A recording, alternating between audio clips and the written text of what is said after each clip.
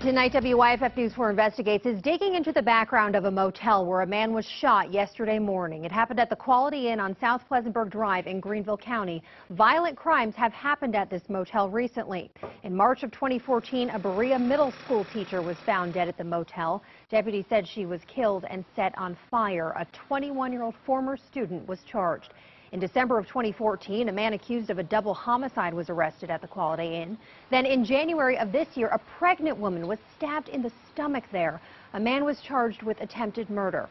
And early yesterday morning, a man was shot during an armed robbery. So far, no arrests.